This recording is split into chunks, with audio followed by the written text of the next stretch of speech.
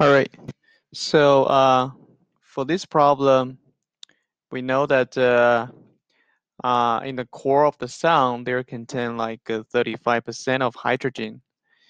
And uh, we want to know that how many years it, it need to use to consume all of them. So uh, we know that the consumption ratio, the, cons the consumption, sorry, the consumption rate is uh, uh, 6.2 times 10 to the 11 kilograms per second.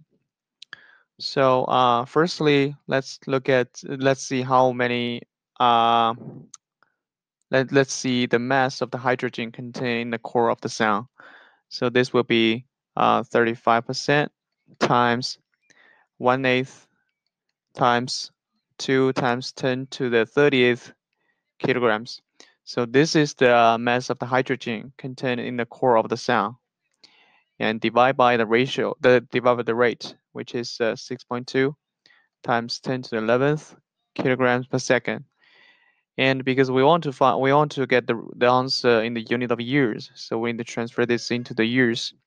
So you need to times 3.15 uh, times 10 to the 7 second per year.